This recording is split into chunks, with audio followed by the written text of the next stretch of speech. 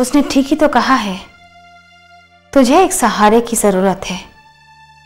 कब तक ऐसी ज़िंदगी गुजारती रहेगी जिसकी कोई मंजिल नहीं? मुझे डर लगता है। मंजिल की तलाश में कहीं गलत रास्ते पर ना चली जाऊँ। तेरे साथ जो गलत होना था सो हो गया। अब सब अच्छा होगा। मुझे भरोसा नहीं है। करना पड़ेगा। भरोसा तो ज़िंदगी का भी नहीं होता। तो क्या हम जीना छोड़ देते हैं?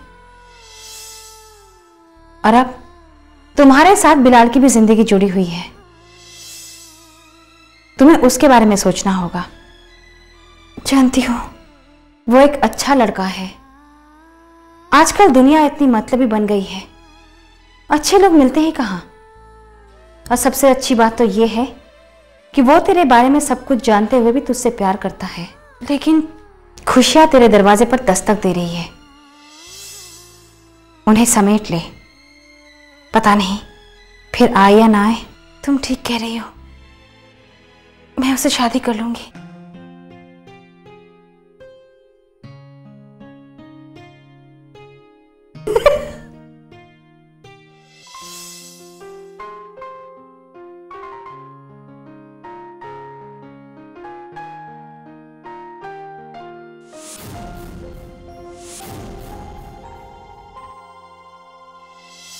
इतना कुछ हो गया और तुमने मुझे बताया तक नहीं। क्या बराबर रोही अपनी परेशानी में इतना उलझ गया था कि दिमाग से निकल गया कि तुमसे बातें शेयर करूँ। मैं समझ सकती हूँ पर जो कुछ भी हुआ उसे एक बुरा ख्वाब समझकर भूल जाओ। और ये सोचो कि अब आगे क्या करोगे। नहीं रोही नहीं। मेरे दिलो दिमाग पर उन बातों का इतना असर हुआ है खुद समझ में नहीं आता क्या करूँ। मैंने अबू से मेरा प्रोजेक्ट है उसके बारे में बात करना लो अबू आ गए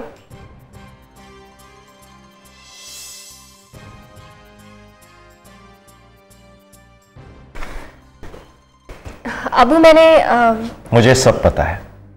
कहा तुम्हें फ़िक्र करने की ज़रूरत नहीं है। ये जो मुसीबत है ये तुमने खुद मोल ली है। अगर तुम रूही से शादी कर लेते तो ये दिन ही नहीं आता। आप कहाँ पिछली बातों को लेकर बैठ गए? अभी तो हमें ये सोचना है कि हम ताहा की हेल्प कैसे कर सकते हैं। सोचना क्या है? भाई मेरा जो कुछ भी है सब ताहा का है। लेकिन इससे पहले हमें एक काम करना होगा। क्या? तुम्हें अपनी बीवी को तलाक देना होगा।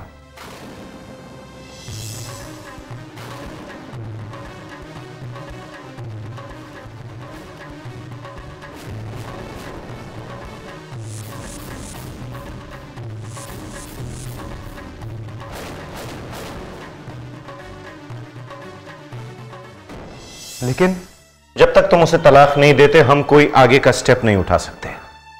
एक औरत जिसे अपने शोहर से ज़्यादा दौलत प्यारी है उसका ज़िंदगी में ना होना ही बेहतर है। हाँ आप ठीक कह रहे हैं। लेकिन अगर वो तलाक के लिए राज़ी ना हुई तो? राज़ी तो उसे होना ही पड़ेगा। अगर नहीं हुई तो हमारे पास रास्ते हैं। मुझे उसने अपने जान में इस तरह फंसा है कि मुझे आज तक उसका मकसद नहीं पता चला। तहा औरत को पहचानना बहुत ही मुश्किल है। वो अपनी पर उतर आए तो कुछ भी कर सकती है। और एक बात और तुम्हें जब पता चल चुका है कि तुम बशीरा के बेटे हो तो तुम बशीरा का साथ दो ताकि चौधरी खानदान की असलियत दुनिया के सामने आ जाए। क्या ऐसा करना ठीक होगा? इसमें सोचने की क्या बात है? ठीक है। जैसा आप कहते हैं।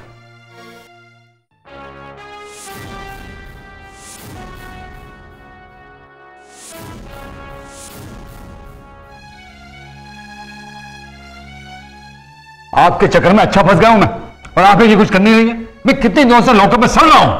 अरे मैंने करीम से बात किया है। क्या उसने फ़ोन नहीं किया तुम्हें? अरे वो तो धोखेबाज है।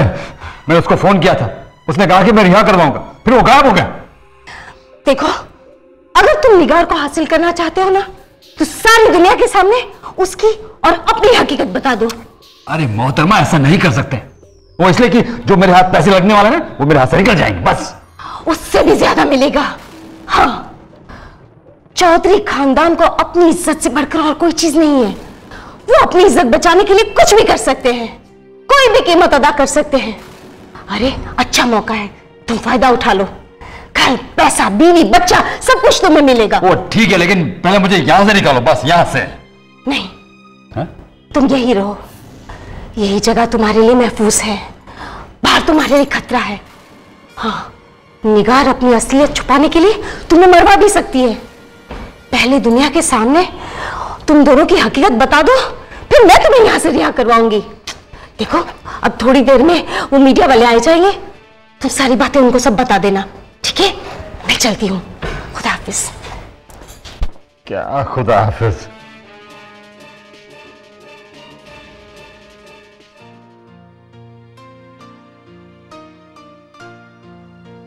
ताहा अब परेशान होकर क्या फ़ायदा? पीछे की ज़िंदगी के बारे में सोचने से अच्छा यह है कि तुम आगे की ज़िंदगी के बारे में सोचो। अब आगे की ज़िंदगी के बारे में सोचने का क्या फ़ायदा है रोही? मुझे तो ऐसा लगता है जैसे मेरी तकदीर और मेरी खुशियाँ नदी के दो किनारों की तरह हैं जो कभी नहीं मिल सकता। ऐसी बात नहीं है ताहा। जो लोग हाथों की लकीरों पर चलते हैं वो अक्सर उंगलियों के भंवर में उलझ कर रह जाते हैं। इंसान अपनी तकदीर खुद लिखता है। और जूबी से शादी करने का फैसला तुम्हारा अपना था। हाँ रोही। मुझे आज भी इस बात का अफसोस नहीं है कि मैंने जूबी से शादी क्यों की। तो तुम जूबी से शादी करके खुश हो? हाँ रोही। हमारे बीच ऐसी कोई बात नहीं हुई जिसकी वजह से मुझे पछतावा हो। तो क्या तो सिर्फ़ एक बात का कि मेरी बीवी होते हुए उसने मेरे बारे में कभी नहीं सोचा। घर वालों के बारे में सोचती रही। आखिर क्यों? क्या एक शोहर की अहमियत नहीं होती? ताहा तुम वो बात कर रहे हो जो तुम जानते हो। अगर तुम वो बात जान जाओ जो तुम्हें नहीं पता तो, तो शायद तुम्हें जूबी से नफरत हो जाएगी। कौन सी बात? वो तुम्हें तुम्हें नहीं बता सकती। वो तुम्हें अबू ही बताएँगे। तुम्हारा अबू सूबी के बारे में क्या जानता है? बहुत कुछ। जो शायद सुनकर तुम यकीन भी ना करो। फिर भी यही कहूँगी कि सच सुनने की हिम्मत रखना और एक बार अबू से मिल लो वरना पूरी ज़िंदगी अंधेरे में ही भटकते रहोगे।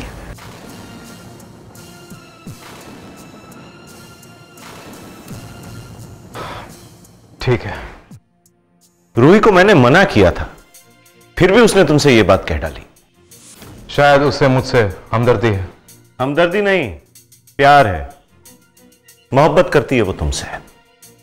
तुम्हें यह बात अजीब लग रही होगी कि एक बाप होते हुए मैं अपनी बेटी के बारे में ये सब इतने खुले तौर पर कैसे कह पा रहा हूँ? मगर मैं एक प्रैक्टिकल बाप हूँ। मैंने अपनी बेटी को अच्छाई, बुराई दोनों बताए। उसको बताया कि यह रास्ता गलत है बेटा यह रास्ता सही है।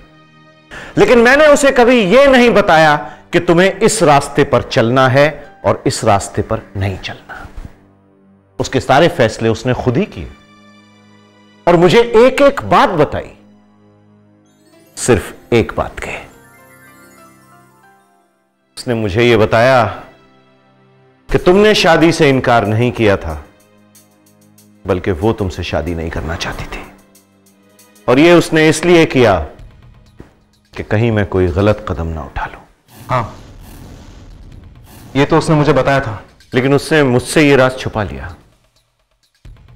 पर जब मुझे इस बात का पता चला तो मैंने इंतकाम का इरादा बना लिया। उसके बाद तुम्हारे घर के हर एक फर्द पर मेरी नज़र थी। तुम्हारा बिज़नेस तुम्हारा घर, तुम्हारे दोस्त, तुम्हारे दुश्मन, सबका पता लगा लिया मैंने। इस फ़ाइल में तुम्हारे बिज़नेस की तमाम डिटेल्स हैं। अगर मैं चाहूँ तो एक दिन में, सिर्फ़ एक दिन में तुम्हारे पूरे घर को बर्बाद कर सकता हूँ। और मैं ऐसा कर भी देता। लेकिन तुमने मुझसे हाथ मिला लिया। और अब अब ये सब ये सब तुम्हारा है।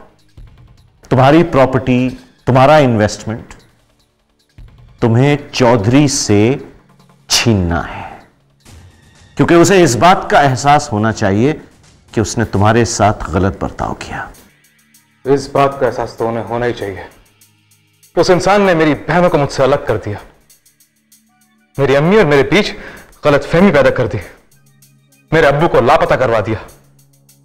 मेरी ज़िंदगी को हिस्सों में तकसीम कर दिया। अब तो ना मैं जी सकता हूँ और ना ही मर सकता हूँ। अब तो सिर्फ़ तुम्हें जीना है। इंतकाम के लिए, अपनी ज़िंदगी के लिए रूही की खुशी के लिए।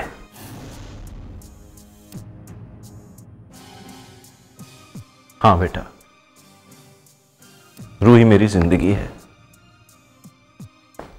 मेरी हर खुशी है। मेरा सब कुछ ले लो, मगर मेरी रूही को खुशियाँ दे दो। और मैं जानता हूँ कि उसकी सबसे बड़ी खुशी तुम हो। मुझे शर्मिंदा मत कीजिए, अब्बू। जब अब्बू कह ही दिया है तो मेरी एक बात मानोगे? आप हुक्म कीजिए। रूही से शादी कर लो।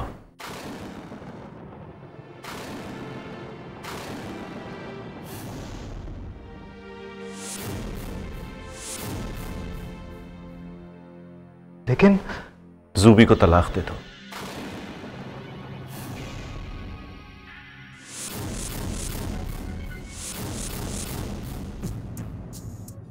उसने मेरे साथ कुछ गलत नहीं किया। किस गलती पे तलाक दूँ? उसकी सबसे बड़ी गलती यह है कि उसने तुमसे शादी की थी। क्योंकि वो शादी दरअसल एक दिखावा था। खेल था एक।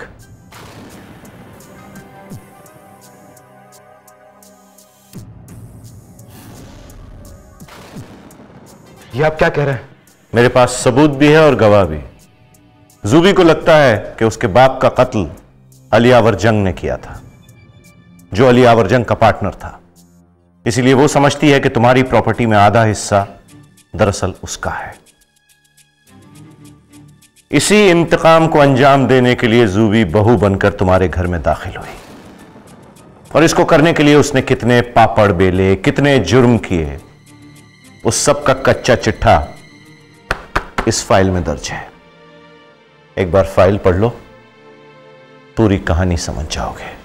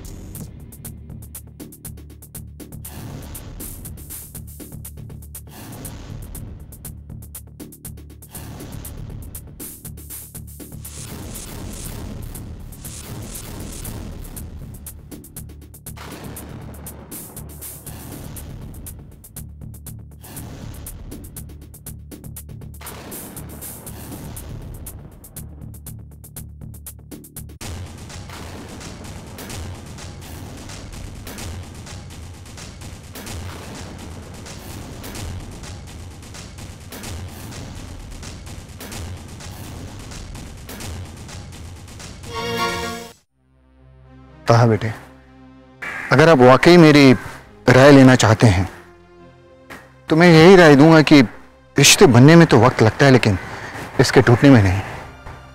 और अहमियत वक्त की होती है बेटे एक लम्हे की नहीं।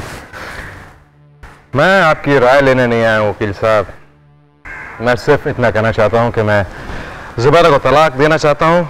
आप मेरी मदद कर सकते हैं या नहीं? मैं इसमें तुम्हारी क्या मदद कर सकता हूँ? हाँ मैं अपनी ड्यूटी पूरी कर दूँगा क्योंकि मैं एक वकील हूँ और तुम्हारी फैमिली से पुराना रिश्ता है मेरा। पर अगर तुम काजी साहब की मदद लोगे तो ज़्यादा आसानी होगी तुम्हें। कैसी बातें कर रहे हैं आप? जुबैदा कोई जाहिल लड़की नहीं है कि मेरे तीन बार तलाक कहने पे वो चुप बैठेगी। वो ज़रूर कानून का दरवाज़ा खटखटाएगी। मैं चाहता हूँ कि इससे पहले वो कानून को अप्रोच करे मैं कानून को अप्रोच करूँ। चलो ठीक है लेकिन क्या मैं जान सकता हूँ कि अचानक तुमने ये तलाक लेने का फैसला क्यों किया? भूल हो गई थी मुझसे। अंधेरे रास्ते में भटक रहा था। दूर रोशनी देखी जब करीब पहुँचा देखा मेरा घर चल रहा था। खुशी की लालच में हमको गले लगा लिया। मैं तुम्हारी बातों का मतलब नहीं समझा। उसने किसी मकसद के खातिर मुझसे शादी की। वो मकसद मैं जान सकता हूँ? वो अपने बाप के खून का बदला लेना चाहती है। इतने यकीन के साथ तुम ये बात कैसे कह सकते हो बेटा? अबरार साहब ने मेरी आँखें खोल दी। सिर्फ़ उनकी बातें सुनकर तुमने ये फैसला ले लिया कि क्या सही है और क्या गलत है? सिर्फ़ उन्होंने कहा नहीं सबूत के तौर पर उन्होंने मुझे फ़ाइल दिखाई जिससे मुझे गुजरी हुई बातें याद आ गई। अब वकील अंकल ये बात कम नहीं है कि हमारी शादी को इतने दिन हो गए लेकिन आज तक हमारे बीच मियाँ बीवी का रिश्ता नहीं हुआ। ऐसी वो हमेशा बीमारी का बहाना बनाकर बात टालती रही। था बेटे मैं सब मामला अब समझ गया। हाँ देते हो मैं तुम्हारे साथ हूँ। हम आज ही डिवोर्स केस फ़ाइल कर देते हैं। मुझे आपसे यही उम्मीद थी। हाँ अभी आज का न्यूज़पेपर पढ़ा? जी अम्मी। निगार कहीं की नहीं रही। अल्लाह ने उसे ऐसी सजा दी कि वो कहीं भी मुँह दिखाने के लायक नहीं रही। अम्मी उसका इंसाफ ऐसा ही होता है। मेरा घर बिखेर कर रख दिया उस औरत ने। ये तो अच्छा हुआ कि तुम मेरी ज़िंदगी में आ गई वरना उस औरत ने तो मेरी ज़िंदगी को सजा बनाकर रख दिया था। आपकी नेकी पर अल्लाह को भी तरस आ गया होगा। इसीलिए उसने मुझे भेजा। अबीर, अब हमें हमारे बीच की गलतफहमियों को दूर कर देनी चाहिए। उन्होंने अपने फ़ायदे के लिए हमें यूज़ किया, ताकि हम आपस में लड़ते रहें और वो लोग फ़ायदा उठा ले। उन्हें तो इस बात का ख्याल भी नहीं होगा। कि वो अपने ही जाल में खुद ही फंस जाएँगे? अब तो निगार सभी तरह से हार चुकी है। इधर इज़्ज़त गई, उधर बेटा। अब वो ये घर में क्या मुँह लेकर जिएगी? ये घर तो उसे छोड़ना ही होगा। अबीर, अब ये घर और बिज़नेस हमें ही संभालना है। तुम्हारे अब्बू ने बहुत मेहनत से ये सब कुछ बनाया है। और मैं नहीं चाहती कि मेरे जीते जी उनकी बरसों की मेहनत बर्बाद हो जाए। अम्मी, आप मुझ पर भरोसा रखिए। ये घर सिर्फ़ अब्बू और आपका ही नहीं, ये मेरा भी ख्वाब है। मैं इसे कभी बिखेरने नहीं दूँगी। मैंने इसके लिए क्या क्या नहीं किया है? कितना लड़ी हूँ, सिर्फ़ मैं ही जानती हूँ।